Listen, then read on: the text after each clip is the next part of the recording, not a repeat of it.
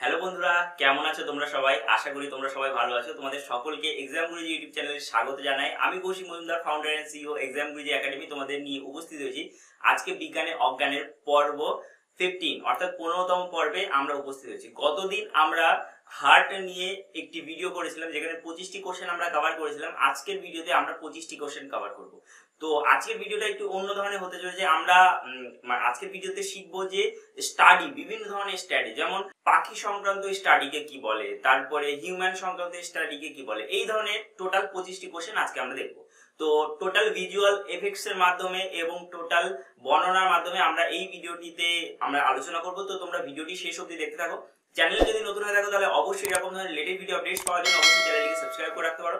তো আমাদের সাথে যুক্ত থাকো এবং শেষ অবধি দেখো আমাদের ফেসবুক পেজ এবং টেলিগ্রাম গ্রুপে তোমরা যুক্ত হতে পারো। আমাদের super two hundred fifty WhatsApp গ্রুপেও তোমরা যুক্ত হতে পারো। তো চলো দেরি করে শুরু করি।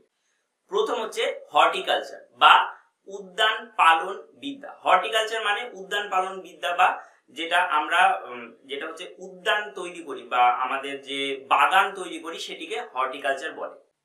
তারপর হচ্ছে ইকথায়ো কালচার এটি হচ্ছে মাছ সংক্রান্ত বিদ্যা। মাছ, চাষ সংক্রান্ত বিদ্যা। মাছের মাছের সংক্রান্ত বিদ্যা হচ্ছে ইকথায়ো কালচার ফাইকোলজি। ফাইকোলজি হচ্ছে শৈবাল সংক্রান্ত বিদ্যা। ফাইকোলজি। আমরা, তোমরা দেখতেই পাচ্ছ ভিজুয়াল এফেক্টস সেটি হচ্ছে আমরা এখানে দেখাচ্ছি শৈবাল সংক্রান্ত বিদ্যা হচ্ছে ফাইকোলজি। আর হচ্ছে মাইকোলজি হচ্ছে ছত্রাক সংক্রান্ত বিদ্যা। মাইকোলজি ছত্রাক সংক্রান্ত বিদ্যা ইথোলজি হচ্ছে আচরণ সম্পর্কিত বিদ্যা, অর্থাৎ মানুষের আচরণ, ইথোলজি, আচরণ সংক্রান্ত বিদ্যা হচ্ছে ইথোলজি, ঠিক আছে? অর্নিথোলজি, এটি বারবার পরীক্ষাতে আসে, সেটি হচ্ছে পাখি সংক্রান্ত বিদ্যা হচ্ছে অর্নিথোলজি। অর্নিথোলজি পাখি সংক্রান্ত বিদ্যা, অর্থাৎ পক্ষী সংক্রান্ত বিদ্যা মানে পাখি সম্পর্কে আমরা মানে যে পড়াশোনা করি তাকে অর্নিথোলজি বলে, ঠিক আছে? তারপর হচ্ছে অস্টিওলজি, হাড় সংক্রান্ত বিদ্যাকে বলে অস্টিওলজি। তারপর নিউরোলজি স্নায়ু সংক্রান্ত বিদ্যা। নিউরোলজি হচ্ছে স্নায়ু সংক্রান্ত বিদ্যা। তারপর হচ্ছে নেফ্রোলজি আমাদের রেচন সম্পর্কিত চিকিৎসা বিদ্যা। নেফ্রোলজি রেচন সংক্রান্ত চিকিৎসা বিদ্যা। হাইড্রোলজি হচ্ছে ভূপৃষ্ঠ ও ভূগর্ভস্থ। হাইড্রোলজি ভূপৃষ্ঠ ও ভূগর্ভস্থ জল সংক্রান্ত বিদ্যা বা জলের বিদ্যা। মানে জল সংক্রান্ত আমাদের যে পড়াশোনা সেটিকে হাইড্রোলজি বলে। তারপর হচ্ছে টক্সিকোলজি সেটি হচ্ছে বিষ বিষয়ক বিদ্যা। টক্সিকোলজি টক্সিক আমরা বারবার করে আলোচনা করি যে সাপের বিষ কিংবা বিভিন্ন ধরনের পশু পাখির বিষ টক্সিক মানে কি? বিষাক বিষক্রিয়া।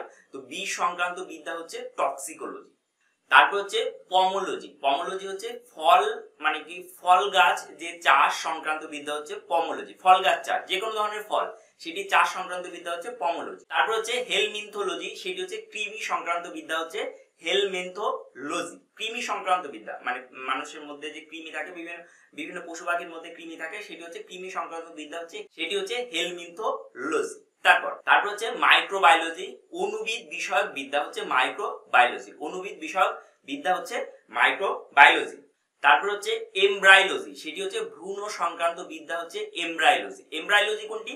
সেটি হচ্ছে মানুষের পেটে কিংবা পশু পাখির পেটে যে ভ্রূণ থাকে সেই ভ্রূণ সংক্রান্ত বিদ্যা হচ্ছে এমব্রায়োলজি তারপর হচ্ছে হারপেটোলজি। হারপেটোলজি হচ্ছে সরীসৃপ এবং উভচর সংক্রান্ত বিদ্যা হচ্ছে হারপেটোলজি। তারপর হচ্ছে অ্যানিমেল হাজবেন্ডারি। অ্যানিমেল হাজবেন্ডারিটা কি? সেটি হচ্ছে গবাদি পশু। গবাদি পশু চারণ বিদ্যা। মানে আমরা যে গবাদি পশু বাড়িতে পুষি, গরু, ছাগল, তো এগুলো চারণ বিদ্যা হচ্ছে কি? সেগুলো হচ্ছে অ্যানিম্যাল হাজবেন্ডারি। তারপর হচ্ছে পোল্ট্রি ফার্মিং সবাই জানে এটা পোল্ট্রি ফার্মিং সেটি হচ্ছে হাঁস মুরগি চাষের বিদ্যা। বাড়িতে যে হাঁস মুরগি চাষ করা হয়, পোল্ট্রি ফার্ম করা হয়, সেটি হচ্ছে মানে পোল্ট্রি ফার্মিং সেটি হচ্ছে মানে হাঁস মুরগি চাষের বিদ্যা।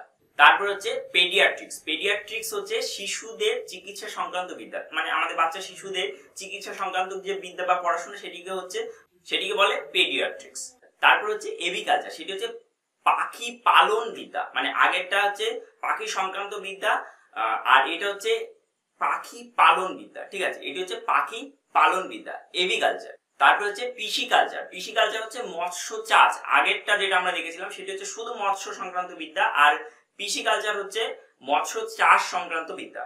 তারপর হচ্ছে সেরিকালচার, সেটি হচ্ছে রেশম চাষ সংক্রান্ত বিদ্যা, সেরিকালচার, রেশম চাষ সংক্রান্ত বিদ্যা। তারপর হচ্ছে প্রোনো কালচার প্রোনো কালচারটা হচ্ছে চিংড়ি চাষ সংক্রান্ত বিদ্যা হচ্ছে প্রোনো কালচার। চিংড়ি চাষ সংক্রান্ত আমরা চিংড়ি মাছের চাষ করা হয় বিভিন্ন জায়গাতে, সেটি হচ্ছে প্রোনো কালচার বলে। তারপর হচ্ছে পাল কালচার। পাল কালচারটা কি? পাল কালচারটা হচ্ছে মুক্তা চাষ সংক্রান্ত বিদ্যা হচ্ছে পাল কালচার। তারপর হচ্ছে ইভলিউশন ইভলিউশন হচ্ছে বিবর্তন বা অভিবেক সংক্রান্ত বিদ্যা হচ্ছে এভলিউশন অভিযোজন সংক্রান্ত বা বিবর্তন সংক্রান্ত বিদ্যা হচ্ছে এভলিউশন বলে। তারপর হচ্ছে অ্যান্থ্রোপোলজি অ্যান্থ্রোপোলজি হচ্ছে মানুষের উৎপত্তি ও বিকাশ সংক্রান্ত বিদ্যা। অনেকেই ডাব্লিউবিসিএস অ্যান্থ্রোপোলজি সাবজেক্ট নেয়। তো অ্যান্থ্রোপোলজিটা কি? মানুষের উৎপত্তি ও বিবর্তন সংক্রান্ত বিদ্যা। তারপর হচ্ছে জিওলজি জিওলজি হচ্ছে ভূতত্ত্ব বিদ্যা জিওলজি হচ্ছে ভূতত্ত্ব বিদ্যা তারপর হচ্ছে আর্কিওলজি আর্কিওলজি আমরা জানি আর্কিওলজিক্যাল সার্ভে অফ ইন্ডিয়া সেটি হচ্ছে প্রত্নতত্ত্ব বিদ্যা মানে প্রাচীন জিনিস খুঁড়ে বার করা। প্রত্নতত্ত্ব বিদ্যা হচ্ছে আর্কিওলজি ইকোলজি হচ্ছে বাস্তু সংস্থান বিদ্যা বা বাস্তুতন্ত্রের যে বিদ্যা সেটিকে বলে ইকোলজি মানে বাস্তুতন্ত্র সম্পর্কে যে পড়াশোনা সেটিকে বলে ইকোলজি তারপর হচ্ছে এপিকালচার এটি বারবার করে পরীক্ষাতে আসে, সেটি হচ্ছে মৌমাছি চাষ সংক্রান্ত বিদ্যা। অনেকে মৌমাছি চাষ করে বাড়িতে মানে এটি একটি কৃষি কাজ তো এই মৌমাছি চাষ সংক্রান্ত বিদ্যাকে কি বলে? এপিকালচার তারপর হচ্ছে ফ্রগ কালচার ফ্রগ কালচারটি কি? ব্যাংক চাষ সংক্রান্ত বিদ্যাকে বলা হয় ফ্রগ কালচার আজকের জন্য ভিডিওটা এই পর্যন্ত ছিল। আশা করি ভিডিওটি ভালো লেগেছে। ভিডিও যদি এই পর্যন্ত দেখে থাকো, তাহলে অবশ্যই ভিডিওটিকে একটি লাইক করে দিও। পাঁচটি হোয়াটসঅ্যাপ গ্রুপে ভিডিওটিকে অবশ্যই অবশ্যই শেয়ার করো। এবং তোমরা যদি ফেসবুকে শেয়ার করো, তাহলে আমরা খুবই কৃতজ্ঞ থাকব। একদম মন থেকে তোমাদের জন্য আমরা মানে প্রার্থনা করব যেন তোমরা এই বছরই চাকরি পাও। এবং আমরাও চেষ্টা করছি তোমাদেরকে চাকরি পাওয়ানোর জন্য।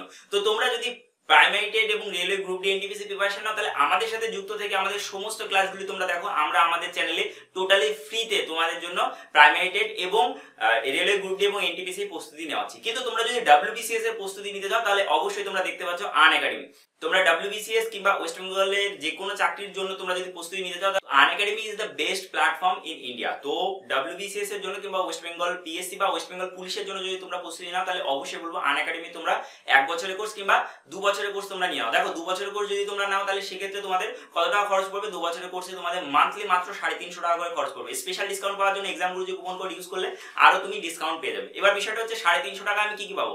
জিকে জিআই ম্যাথ তারপর হচ্ছে history geography science Indian polity তারপরে কারেন্ট অ্যাফেয়ার্স তারপরে ইন্ডিয়ান ইকোনমি তারপরে বাকি যে সমস্ত জিনিস কারেন্ট অ্যাফেয়ার্স সমস্ত কিছু তোমরা হয় মানে দশ দশটা সাবজেক্ট তোমরা পেয়ে যাচ্ছ। বাড়িতে বসে যদি তোমরা শুধু ম্যাথের ক্লাস করতে যাও কোনো টিচারের কাছে, সেক্ষেত্রে দুশো টাকা মাসে কমপক্ষে।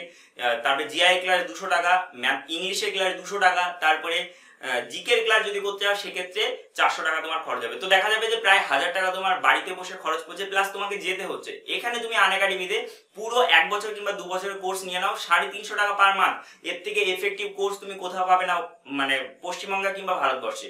তো আমি বলব যে আন একাডেমিতে তোমরা কোর্স নাও। দেখো তোমাদের কোর্স নিতেই হবে, তার কোনো মানে নেই। তোমরা যদি বিস্তারিত জানতে চাও, তাহলে আমাকে হোয়াটসঅ্যাপ করো। হোয়াটসঅ্যাপ হচ্ছে nine five zero four one six nine nine four five WhatsApp করলে যে তোমাকে কোর্স নিতে হবে, কোনো ব্যাপার না। তুমি জাস্ট হোয়াটসঅ্যাপে লেখো আন একাডেমি সম্পর্কে জানতে চাই। তো সেখানে বিস্তারিতভাবে তোমার সাথে ডিসকাস হবে, তোমার সাথে আলোচনা করব। স্পেশাল ডিসকাউন্ট দেবো তোমাদেরকে টেন পার্সেন্ট ফ্ল্যাট ডিসকাউন্ট হবে। তো আরও কি কি তুমি বেনিফিট পাবে, সেটি সম্পর্কে আমি হোয়াটসঅ্যাপে বিস্তারিত, দরকার হলে ফোন কলের মাধ্যমে বিস্তারিত তোমাকে বুঝিয়ে দেবো বা আলোচনা করে তো তোমরা অবশ্যই যুক্ত হও আমাদের আন একাডেমিতে আন একাডেমি প্লাস প্ল্যাটফর্মে এবং আমাদেরকে হোয়াটসঅ্যাপ করো তোমরা বিস্তারিত জানার জন্য। তো আজকের জন্য ভিডিও আমরা এখানে শেষ করব। বাড়িতে থাকো, ভালো থাকো, সুস্থ থাকো। চাকরি এবারই পেতে হবে দু হাজার কুড়ি সালে পেতে হবে। দু হাজার কুড়ি সাল করোনা আমাদেরকে ভীষণ মানে ক্ষতি করে দিয়েছে, আমফান আমাদের ভীষণ ক্ষতি করে দিয়েছে। কিন্তু দু হাজার কুড়ি সালে আমরা প্রত্যাবর্তন করে সমস্ত কিছু ওভারকাম করে দু হাজার কুড়ি সালে আমরা চাকরি পাবো। তো এটাই আমাদের লক্ষ্য হওয়া উচিত। তো চলো, এইবার আমাদের প্রস্তুতি নিতে হবে। ধন্যবাদ আজকের জন্য। ভালো থাকবে, সুস্থ থাকবে, বাড়িতে থাকবে। ধন্যবাদ।